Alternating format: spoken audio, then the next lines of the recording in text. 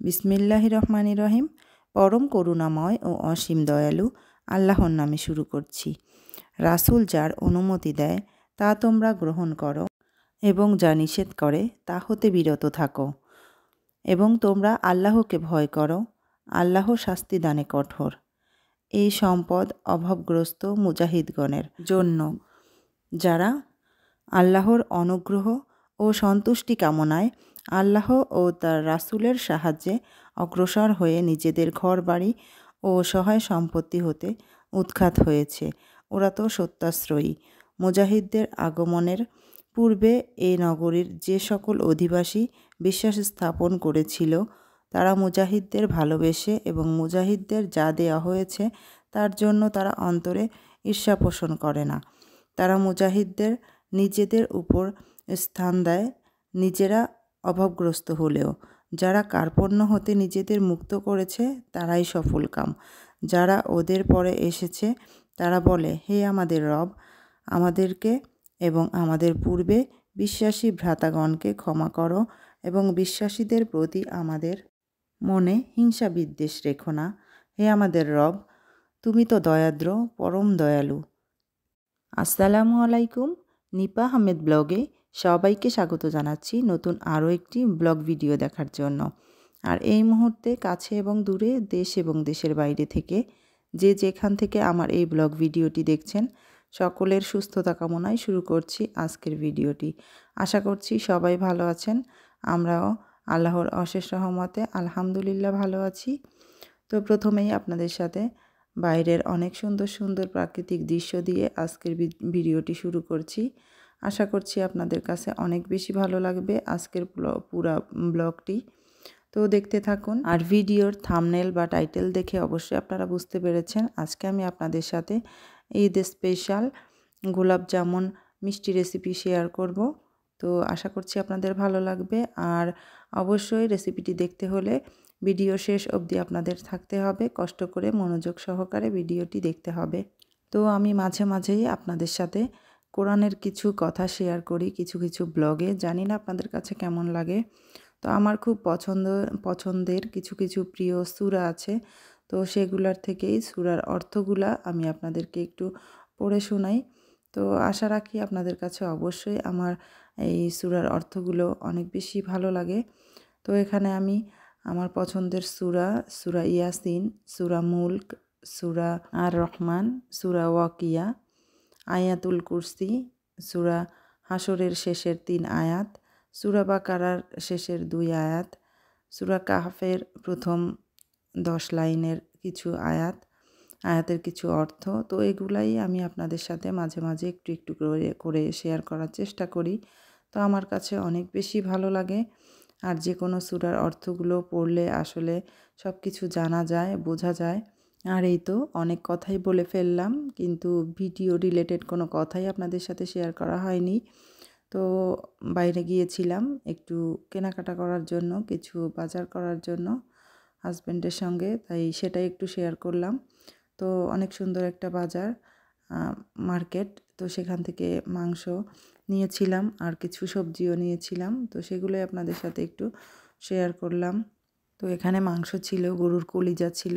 তো আমার কাছে এভাবে একটু গরুর কলিজা, মাংস, চর্বি হাড়সহ সব কিছু মিক্সড করে রান্না করলে খেতে বেশি ভালো লাগে। আর এই তো এখানে মুরগির চিকেন রোস্ট করার জন্য মুরগির থাই এবং লেগ পিস সহ নিয়েছিলাম। তো এগুলো একটু কেটে নিয়েছি। তো আমার কাছে এভাবে একটু কেটে রান্না করলেই বেশি ভালো হয়। কারণ এত বড় পিস তো আসলে খাওয়া যায় না, খেয়ে শেষ করা যায় না। তাই একবারে কেটেই রান্না করলে ভালো হয়। আর এই তো এখানে ছিল সামান্য কিছু ইফতারের কিছু আয়োজন। তো এখানে একটা লাচ্ছি তৈরি করে নিয়েছিলাম। এখানে খেজুর, কলা, তারপর হচ্ছে বাদাম, দুধ এগুলা দিয়ে খুব মজার একটা লাচ্ছি তৈরি করে নিয়েছি। আর কিছু ফ্রুটসও কেটে নিয়েছিলাম। যেহেতু রমজানের শেষ, তাই শেষ রমজানের আপনাদের সাথে একটু কিছু ভাজা পোড়া আইটেমস একটু শেয়ার করে নিচ্ছি। তো রহমত, বরকতের মাস মাকফরাতের মাস আমাদের থেকে বিদায় নিয়ে চলে যাচ্ছে। জানি না আমরা কে কতটুকু আমল করতে পেরেছি, কে কতটুকু আল্লাহর কাছে ক্ষমা চেয়ে নিতে পেরেছি। মহান আল্লাহ, ক্ষমাশীল, দয়াময় আমাদের সকলের জীবনের গুণাগতাগুলো মাফ করে আমাদেরকে সরল, সঠিক পথে চলার তৌফিক দান করুন। আমিন। আর এই তো এখানে আমি মিষ্টি তৈরি করার জন্য সব কিছু রেডি করে নিয়েছি, দেখতেই পেয়েছেন আপনারা। তো আমি এখানে নিডো ব্র্যান্ডের ফুল ক্রিম গুঁড়া দুধ ব্যবহার করছি। আপনারা চাইলে অন্য যে কোনো ব্র্যান্ডের ব্যবহার করতে পারেন। তো এখানে আমি এক কাপ গুঁড়া দুধ নিয়েছি।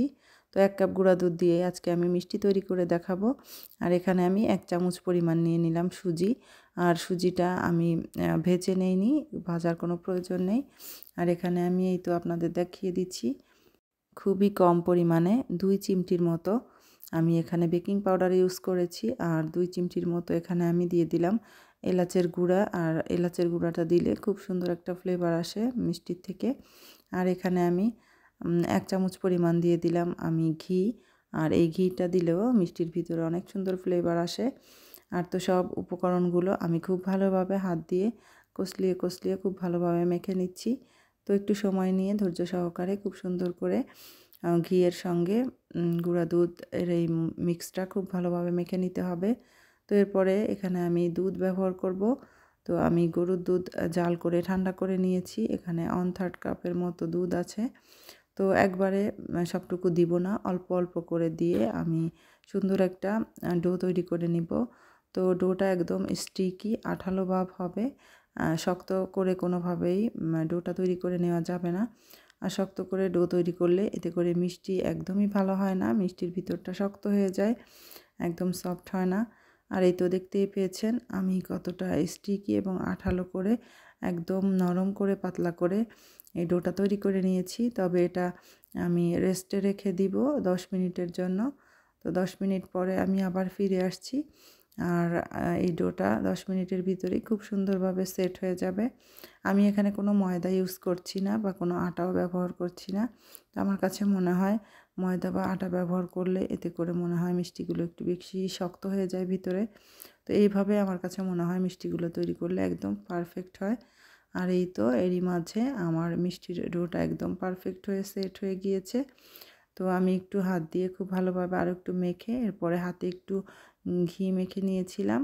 ঘি মেখে এরপর এখানে আমি মিষ্টির বলগুলো তৈরি করে নিয়েছি। তো এমনভাবে তৈরি করে নিতে হবে যাতে করে মিষ্টিগুলো একদম মসৃণ থাকে, উপর থেকে কোনো ফাটল না, ফাটল যেন না থাকে। মিষ্টির উপরে যদি ফাটল থাকে, এতে করে মিষ্টিগুলো ফেটে যায়। একদমই মিষ্টি পারফেক্ট হয় না, ভালো হয় না। আর এই তো আমি সব মিষ্টিগুলো বলগুলো তৈরি করে নিয়েছি। আর এখানে আমি ফ্রাই প্যানে তেল বসিয়েছি। তো আপনারা দেখতেই পেয়েছেন, তেলটা কিন্তু একদমই ঠান্ডা অবস্থায় ছিল। তো আমি মিষ্টির বলগুলো ছাড়ার পরেই তেলে বাবলস আসছে। তো অবশ্যই এই টিপসগুলো ফলো করতে হবে। তেল গরম হওয়ার পরে কোনোভাবেই মিষ্টিগুলো ছাড়া যাবে না তেলের ভিতরে। তেলটা একদম ঠান্ডা অবস্থায় মিষ্টিগুলো দিতে হবে। আর এই তো কিছুক্ষণ আমি ভেজে নিয়েছি আর এরই মধ্যে মিষ্টির বলগুলো একদম তেলের উপরেও ভেসে উঠছে, উঠেছে। তো আমি আমার পছন্দের কালার আমি কালারে ভেজে নিয়েছি মিষ্টিগুলো। তো এরপরে এখানে আমি মিষ্টিগুলো চিনি শিরাতে দিয়ে দিব একটা পাতিলে। আমি এখানে এক কাপ পরিমাণ চিনি নিয়েছি আর এখানে আমি এক কাপ পরিমাণ দিয়ে দিলাম পানি। তো আমি আরও একটু সামান্য পরিমাণে পানি দিয়েছিলাম। আমার কাছে মনে হয়েছিল একটু ঘন হয়ে যাবে। তো অফ ক্যামেরাতে আরও সামান্য একটু পানি অ্যাড করেছিলাম। আর এই তো এখানে একটা এলাচও দিয়ে দিয়েছি একটু ফ্লেভারের জন্য। আর অবশ্যই আরও একটা টিপস সেটা হচ্ছে মিষ্টিগুলো ঠান্ডা অবস্থায় চিনি শিরাতে দিতে হবে। কোনো অবস্থায় গরম মিষ্টি দেওয়া যাবে না। তো আমি মিষ্টিটা ঠান্ডা করে নিয়েছি। আপনাদেরকে একটু দেখিয়ে দিলাম।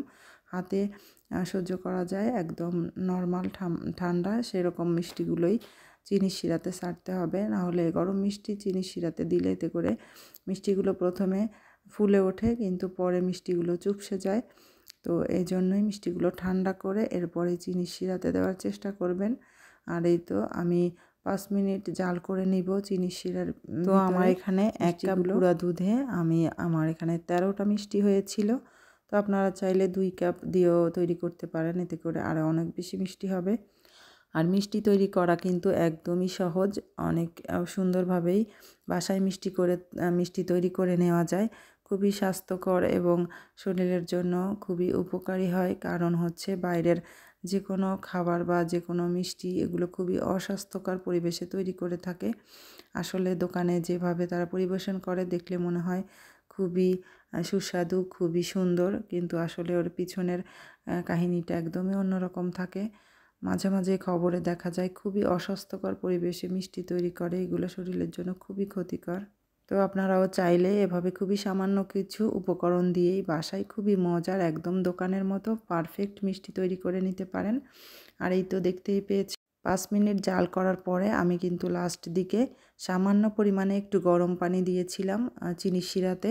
কারণ চিনির শিরাটা ঘন হয়ে গিয়েছিল। তো লাস্টের দিকে একটু গরম পানি ব্যবহার করলে এতে করে চিনির শিরাটা একদম পারফেক্ট থাকে।